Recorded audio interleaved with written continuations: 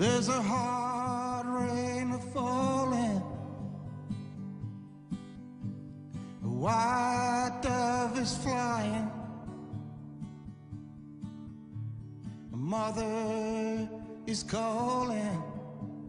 A lover is crying.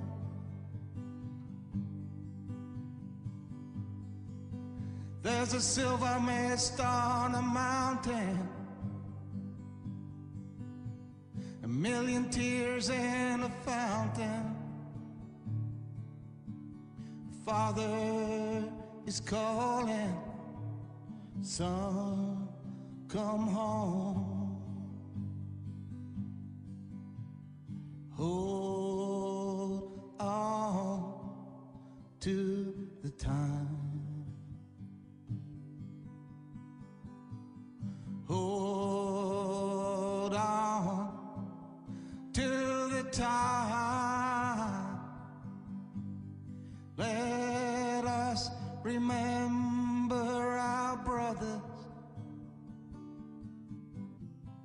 Brothers, 29.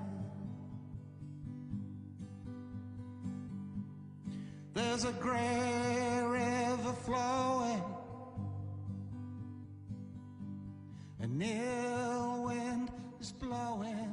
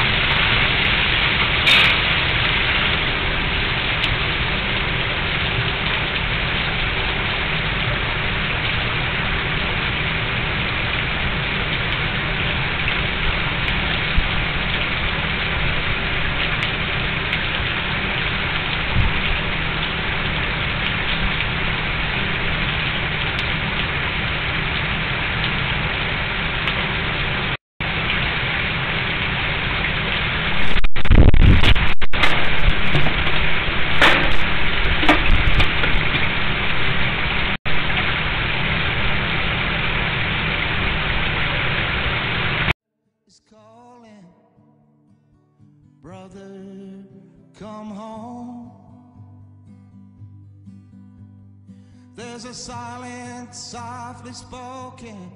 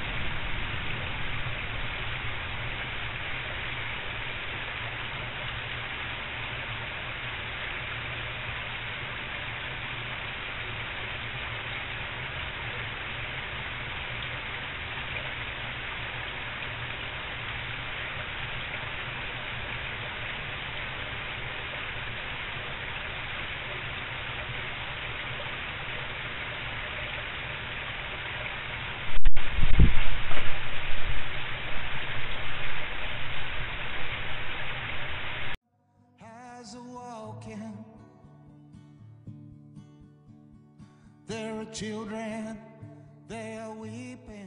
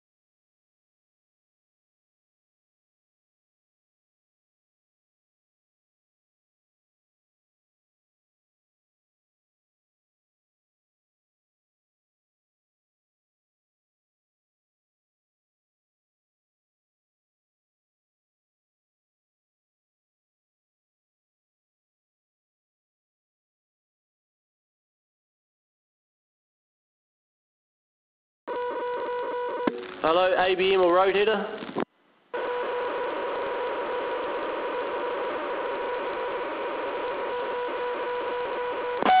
Hey Dan, what you looking for? I was just after the ABM and Roadheader.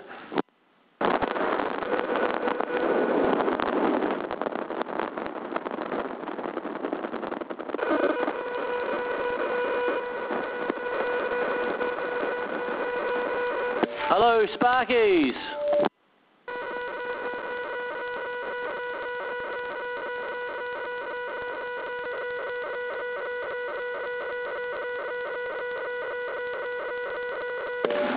Hello, Underground. Any Sparkies?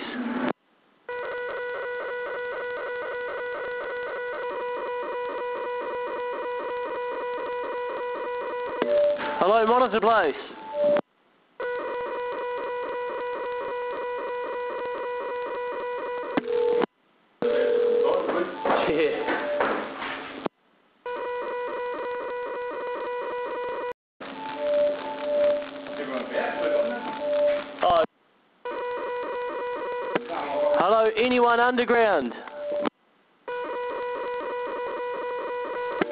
Hello, monitor place. Anyone underground? Anyone?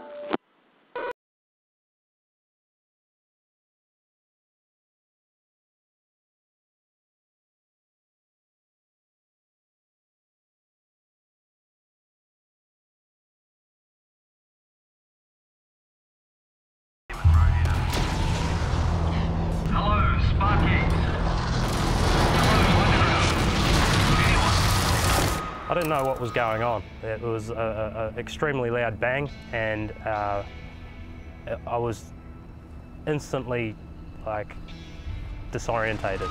Uh, I, yeah, it was, uh, uh, my initial thought was obviously there's, there's been some type of explosion, but I just didn't understand what the hell was going on. So, pretty much initially after the, the explosion, um, a, a large gust or wafting effect of, of, of smoke and gas come flying around the corner, engulfing me, and that's when I knew it was serious. Like, and I, I, I attempted to put my self rescuer on. Um, I was shaking. It was it was it was extremely difficult. Um, it was nothing like um, what we were shown the one time um, in the induction. I, I tried to remember from a couple of years ago um, how to how to put it on and how to activate it, and, and uh, I, I thought that I was doing everything right, but it didn't activate fast enough for what I needed, um, and it uh, wasn't giving me the, the, the, the oxygen that I needed. When I fell unconscious, uh, it, I describe it to people that have, I've talked to about it before. It was kind of like a euphoric effect. Um, I had no feeling in my body, and it was pretty much I could feel my. I, I, I suppose I could feel my heart beating and slowing down. It was almost like waiting to die. Um, it was pretty scary, but there was absolutely nothing I could do about it. Uh, it was it, it was at that point that I started thinking about my family and and and, and kind of trying to fathom what, what exactly is, is going on, like what, what, what, what has happened further into the mind for this to happen. And it was just after that, I just blacked out and I, my memory starts getting a bit hazy.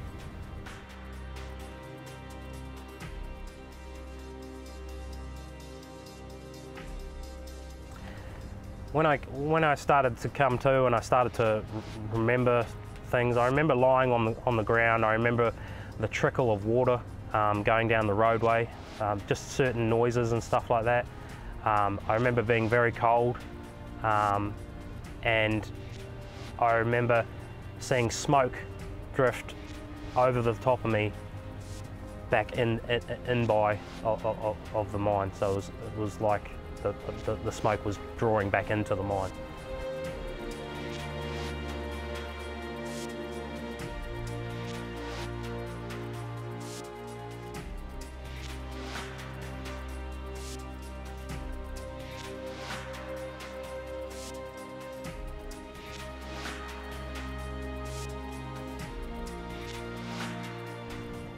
At that point, I attempted to roll myself onto, onto my belly and, and, make, and stand up. Um, un, unsuccessfully several times, I, I fell over. Um, and when I eventually got, got back up, I held on to uh, an, a, compressed air line um, that was not pressurised and it was trickling out with, with fresh air and I was breathing on that to kind of clear the, clear the gas and smoke around my face. And yeah, after that I, I, I, made my way in by a couple of metres to a phone that I knew was close. I made, that, I made a phone call um, out of the mine because we were one thing that I do remember about the about our inductions was our emergency number if anything should happen. Um, I pushed 555, which is a general underground emergency number, and uh, it rung two times, and I received a, a, a voice message from from Pike River Coal saying that they could not take my call, and I couldn't believe it.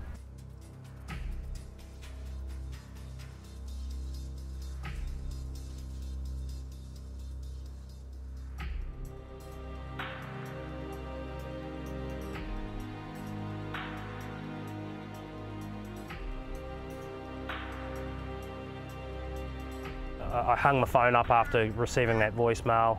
After a few profanities, I, I rung, rung the control number and um, I got the control room officer and um, the phone was pretty much immediately ripped out of his hand and it was the mine manager.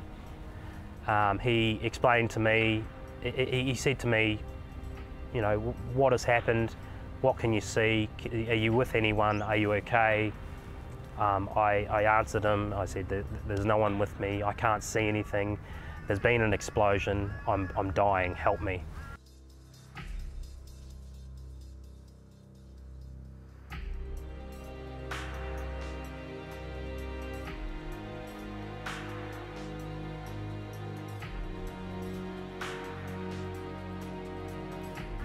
Um, and he said to me, stay, stay low. You need to make your way out, Daniel, and you need to get to our fresh air base, which was out by of me, around 400 metres to 500 metres away from where I, where I was situated. And so I hung the phone up and um, made, my, uh, made my way out. It was inc incredibly difficult, even though it was, it was just one, all I had to go do go was downhill and and I had to go one direction. Um, with the smoke and the, and the gas, I was choking and, and I couldn't, uh, it was very disorientating. Um, I followed the pipes that were about shoulder height um, to, to try and make my way out. And on my, on my journey, I came across another loader. Um, there was no operator in the cab. I squeezed past that loader and I found the operator at the back of it, uh, semi-conscious, uh, on his hands and knees, and it was uh, Russell Smith, uh, the other survivor. I managed to come up to him. Um, I, I, I, pulled his head back to see who, who it actually was. I realised it was Russell. I tried to help. I tried to speak to him. He, he was unresponsive, even though he was, his eyes were open. Um, he was he was dribbling and, and, and, and, and, and spewing a little bit and, and um, I attempted to get his rescuer into, into his mouth and um, he just would not take it. He, he would not allow, his, allow it in his mouth and he just would spit it back out like it was a, like it was a dummy. Um, I attempted several times and it just wasn't happening so I gave up on it. I threw it, I just disregarded it, guarded the, the self-rescuer to the ground. I attempted to pick up Russell um, and uh, after a few attempts of, of trying to pick him up, um, I couldn't do it. So I got behind him and I grabbed him under his armpits and I dragged him backwards. Um, and I made my way out with him to the fresh air base where I was directed to go. So this fresh air base, um, it was meant it, it, was meant to be a, a an emergency pod pretty much. Um, you're meant to be able to contain yourself in there until help arrives, so to speak. Um, I, I, got there and there was meant to be extra self-rescuers, first aid kits, bottled water. There's meant to be a compressed air line pumping into there, so it's a has a has a dual door system to you know keep a positive seal, keep fresh air get pumping in there, so it's safe, um, and and a phone. And there was nothing in there, no self-rescuer, no bottled water, no no first aid kit. The phone was disconnected, the airline was disconnected. There was an out of service tag on the phone saying decommissioned, due to be moved. We weren't told that in, in our toolbox talks or no one was informed about it. Um, I, excuse my language, but I, I, I lost my shit. Uh, I, I couldn't believe that there was, there, we weren't informed that it was um, no longer in use. I couldn't understand why my manager would tell me to go there. Um, it was later found, uh, it was later found out that he didn't even know that it was um, decommissioned and had none of the gear in there. Um, so that just shows the, the, the lack of uh, lack of communication throughout um, the crews, throughout management. So I was pretty angry, but um, I had to deal with it then and there. And so I, after throwing a bit of a wobbly, um, I came out of the, uh, came back out of the fresh air base and I grabbed, said to Russell, screw this, let's get out of here. Picked him back up and we I threw his arm over my shoulder and we kind of three-legged it out, out, out of the mine, um, only, only to stop for brief periods to try and get some, some uh, stored, stored pressure out of fresh air out of, out of the uh, compressed air line. When I came over the, the, the slight horizon um, to when you can first see the daylight um, to the portal, I thought, hey, we, we might just make, make this, we might just get out of this alive. Um, it was an amazing feeling and I'll never forget that moment. Um, as we got closer to the portal, I was expecting to see lights, I was expecting to see movement or action at the portal, um, and there was nothing. Uh, when we got to the portal, uh, my thoughts were correct and, and there was absolutely not one single person there. Um, it was later told to me that they kind of forgot that I was coming out of the mine.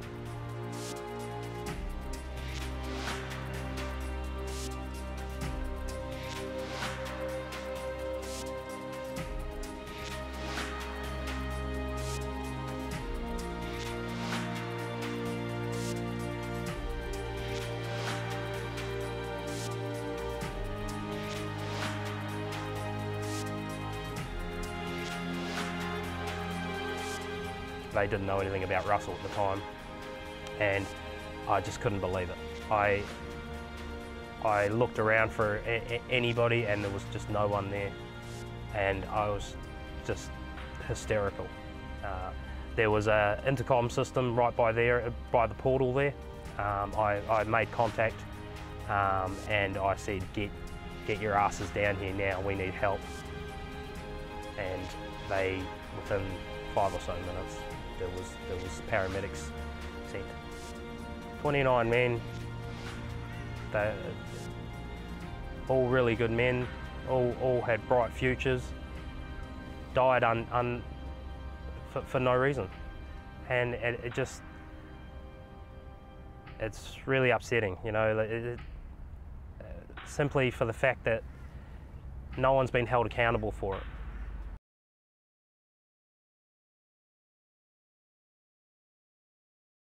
There's no fines being put on put in place, and it's just like the government have just gone, oh well, and it, there's no justice. Is my point. Th- those men are still lying in that mine today, like like they don't even exist, and and and it's bullshit. I I I don't want that to ever happen to anybody else. I couldn't begin to explain to anybody how terrible it was and how terrible the last seven years have been. So I just, I want people to really wake up and, and, and, and maybe think before they, before they act. Um, I suppose me getting on camera here and, and, and showing this documentary is, is my, my attempt to, to bring awareness to it and, and, and, and try to make sure that this doesn't happen again. Um, it, it shouldn't have happened. It was unnecessary and, and it just it makes my blood boil just every day thinking about it. But you know, it, it, I've got to I've got to accept it and, and, and try and make the future of mining doesn't matter whether it's in Queensland or, or, or New Zealand or wherever. I've got to make, I've got to do all I can to make it a safe place to work. Um, to this day, I, I, I, do not know how I came out of there alive, as well as Russell. But it, it also, it, you know, it shoots a little bit closer to my heart. Losing my, my, my younger brother, he was only 21 years old it's it's beyond it's beyond me that how anyone could possibly allow this to happen, let alone get away with get away with it. I just want people to, to realise that this is this is not this is not on and it can't happen again. Um,